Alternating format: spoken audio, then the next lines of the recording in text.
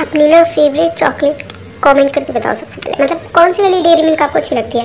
बहुत सारी dairy milk आती है मतलब मुझे भी नहीं पता कितनी सारी आती है।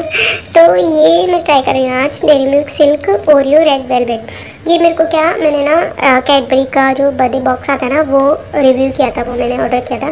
तो उसके साथ ही कई सारी आई थी अलग अलग फ्लेवर की तो मैंने कहा, चलो यार, इनका, इनको भी रिव्यू कर लेते हैं। ठीक है, वो अगर आपने रिव्यू नहीं देखा ना तो उसका लिंक मैं डिस्क्रिप्शन बॉक्स में दे दूँगी, वहाँ जाके आप देख लेना, ठीक है?